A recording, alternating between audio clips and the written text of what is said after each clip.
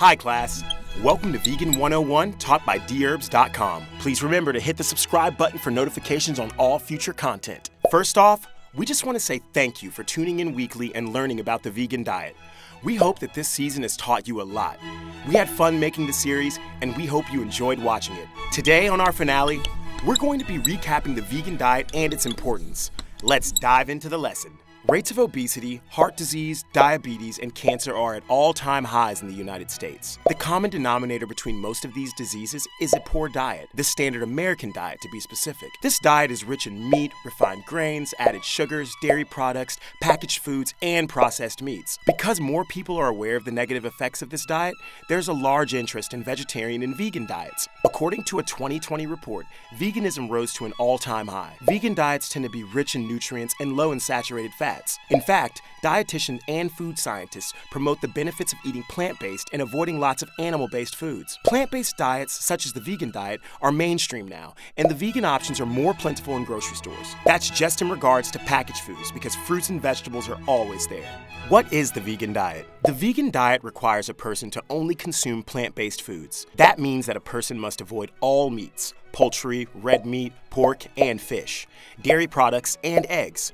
Some strict vegans even avoid honey, as it is a byproduct of bees. Being vegan is a lifestyle choice for some, while it is a dietary choice for others. The primary foods that a vegan should focus on include fruits, vegetables, nuts, seeds, whole grains, and legumes.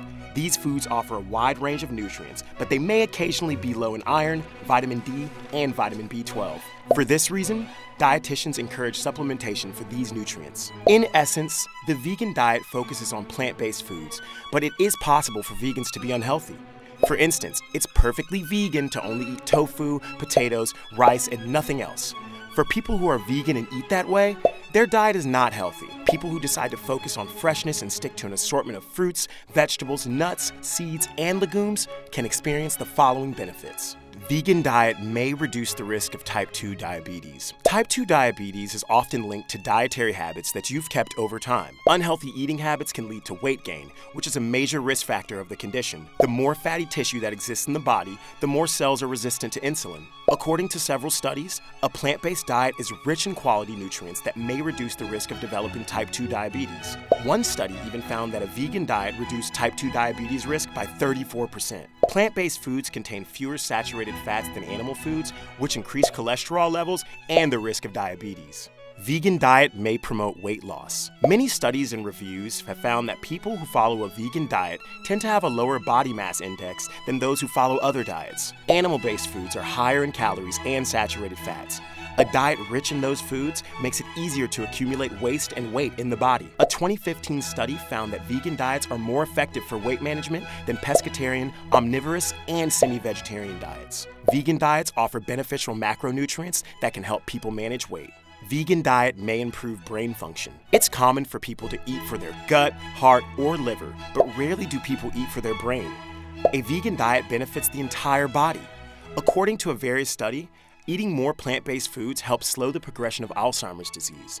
A 2017 review found that eating an extra 100 grams of fruits and vegetables per day reduced the risk of cognitive decline by 13%. The polyphenols and antioxidants in fruits and vegetables benefit the brain and enhance cognition. The vegan diet may lower blood pressure. High blood pressure is one of the primary contributing factors to heart disease, stroke, and type 2 diabetes. The diet you keep can make a difference, though. Several studies found that eliminating animal foods and focusing on plant based foods contributed to lower blood pressure levels levels. A 2014 meta analysis found that people who followed a vegan diet experienced lower blood pressure levels than people on an omnivorous diet. Another study found that vegans had a 34% lower risk of developing hypertension.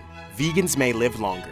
According to researchers, plant based foods offer beneficial antioxidants that may promote longevity. In fact, the Journal of the American Heart Association published a story about the plant based diet lowering the risk of all causes of mortality by 25%. Additionally, the plant compounds offer protective benefits to the body's major organs and systems. This protection extends longevity by another 5%. That concludes our lesson for the day. Thank you again for watching and supporting us.